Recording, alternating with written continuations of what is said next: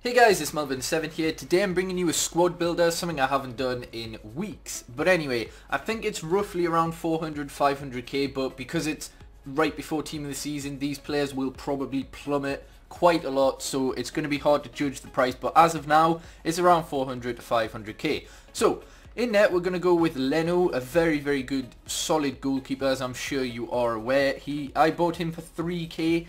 I can imagine he's probably even cheaper now. I could be wrong, but... Well, no, he's literally around 3k, so a very good price for a very solid goalkeeper. First centre-back is going to be Jerome Boateng, one of my favourite centre-backs on the game. Um, this one's packed. Uh, the other one that I had, I sold because I bought him. Um, obviously, I'm going to replace him when I do pack him, though. And uh, I've only played 10 games with this pack pulled one, but he's unbelievably cheap. For, for an 87 rated player, well, centre-back with those kind of stats, 25k is an absolute bargain. On the right, we're going to go to the BPL, and we're going to use the most overpowered player in the Premier League. Uh, well, in terms of FIFA and centre-backs, he is the best in the Premier League, and that's Otamendi, purely because of his stats. Unbelievable, and yet again, just stupidly cheap. And these will get even cheaper during Team of the Season. 6k for him.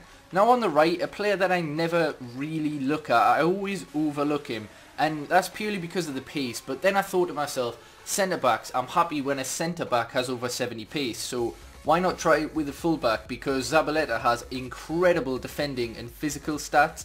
1k as well, 73 pace, which as I say isn't bad for a centre back. And to be honest, fullbacks, at least one of them, you're going to want to stay back. So I think it's good that he's got limited pace. I mean, his work rates are high, high, so it might counterbalance it. But I thought I'd give him a go because I always overlook him just because he's got a lack of pace. Like someone like Walker has 90 and he only has 73. But anyway, on the left we go with David, uh, Alaba's original card, not his position change CDM. Although I do want to try that and I might soon um, in a squad builder. Again, he, he's stupidly cheap for the stats. 34k for the highest rated normal left back in the game. That's crazy. Now, with centre-backs, we go to our third league. This is a three-league hybrid. We've got Toni Kroos, less than 10k for an 87 rated player. It's just ludicrous. 88 passing for a centre midfielder is brilliant. And he's, he's literally just under 9k now. Absolutely crazy prices.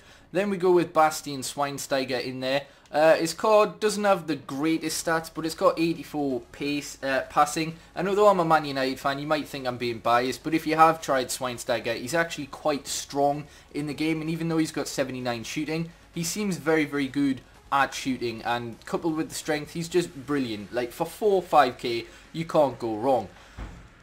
the last centre midfield option, we've got Yaya Toure, who is just stupidly cheap a well-rounded card. Everyone knows how good this card is. He's been fantastic on FIFA for God knows how long uh, throughout the years. And yeah, 24, 23k maybe for uh, like an all-rounded centre midfielder.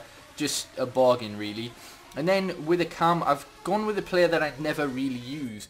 And uh, I'm glad I did actually because I always overlook him again purely because he's only got 3 star skills. Aaron Ramsey he doesn't have the best card, only one stat in the 80 and that's dribbling which is good for a cam. Obviously he's a, a centre midfielder and I've changed him to a cam but you can buy him as a default cam for around 1.7k which is looking what he goes for. He goes for like 1, 2k, something like that. But anyway, on to the two strikers and this is the reason I built the team. First of all, not De Jong. not De Jong. It's April Fool's, but it's not going to be De Jong up front. We've got uh, Bale and Sanchez striker position change cards. Now these guys are incredible on the wing, as I'm sure you're well aware and as strikers I really wanted to try them out. So I thought you know what I'll build a hybrid around these two. Bale cost me 283k I'm not sure how much he goes for now. Alright I've lost a bit of coins on him. He goes for roughly about 250k I'll probably sell him after this because I'll probably keep going down in price purely because team of the season's just around the corner.